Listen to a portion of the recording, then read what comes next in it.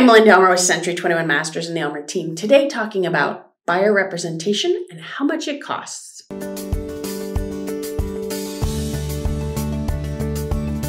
Hi, I'm Melinda Elmer with Century 21 Masters and the Elmer team. Thank you so much for watching.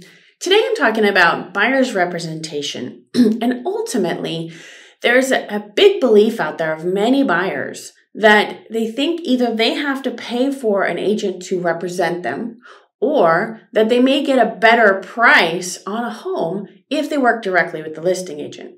Now, that is not generally the case. So, the way that buyer's representation works is that when you have a dedicated buyer's agent, they're ultimately looking out for your interests, what you're looking for in a home, and can sometimes find that property, especially our team, can sometimes find that property off market. Now, when we do so, ultimately the seller pays for the buyer's representation and for our services. So, the great news for most buyers is that a buyer's representation is pretty much at no cost and that it's all worked into the price of the home. So, the seller ultimately pays for the buyer's fees, buyer's agent fees, and the buyer pays for all of the loan fees and expenses. so, the great news is that you can have your own representation at no cost to you ultimately.